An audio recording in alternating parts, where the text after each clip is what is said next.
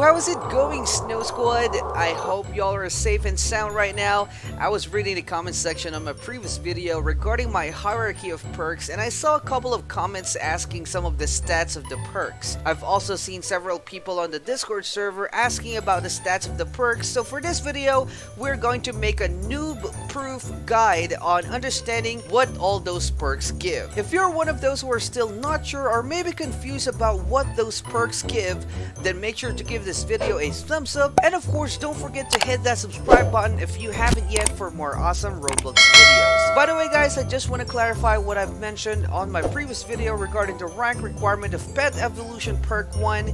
It seems that it is indeed rank 35 and not rank 40 but it feels weird because for some reason I didn't get it and I don't have it yet even it's so easy for me to get to rank 35 and I've seen that perk on my perk store multiple times already. But yeah, as I've said in my pinned comment, the hierarchy of perks, at least on my list on that video, would not be affected that much because it all depends on what you're willing to do in-game, either just semi-AFK grind while standing and throwing your blades on the selling area, or focus on hatching eggs. Anyway, since we're already talking about the pet evolution perk, for those who are still asking and confused what does this perk really gives, let me tell it to you guys. Pet evolution perk make every pet that you hatch straight to 1 star or its first evolution.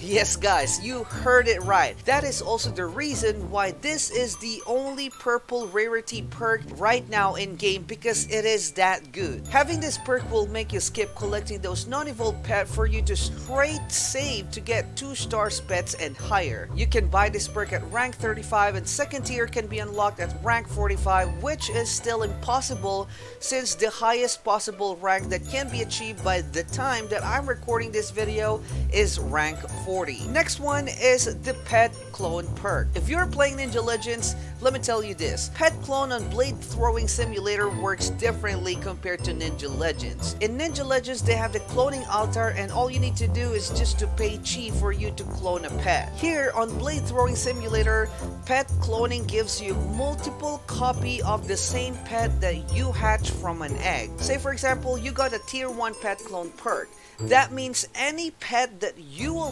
hatch, you will get two pieces of it. Is it stackable with other perks?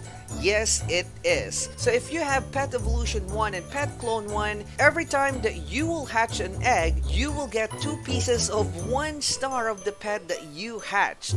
Yes, that means every egg is a guaranteed multiple copies of the same pet depending on your pet clone tier and also if you have the pet clone game pass. Pet carry perk allows you to equip more pets and pet storage perk will give you more space to keep your pets in your bag.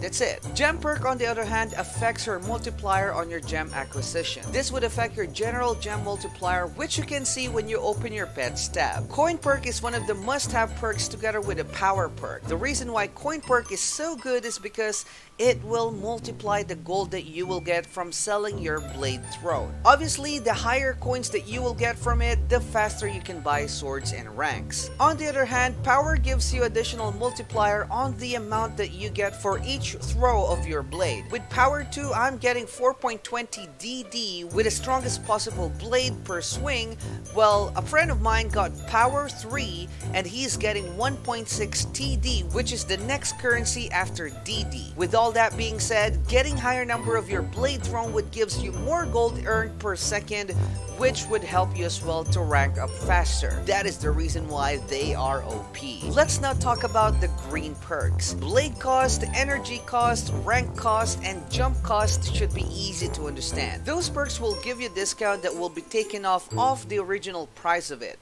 Obviously, blade cost and rank cost are good, but it can help you slightly to rank up faster since blades and ranks would be a bit cheaper. Throw speed can also indirectly slightly help you on your grind for rank. The faster you throw your blades, the faster you acquire blade throw power to sell. However, this perk together with the blade range perk are perks that helps you more on boss grinding, meaning these two perks indirectly helps you together with a gem perk for a faster gem grind. Those are all of the 13 existing perks that we currently have in game. In the future, for sure, there will be other perks that will be added. So far, what's your favorite perk guys? Do you have any other perk suggestions that maybe you would want to be added in game? Don't forget to drop it on the comment section below and if this video helped you guys, make the thumbs up button blue and I'll see you guys again in the next one. Stay cold!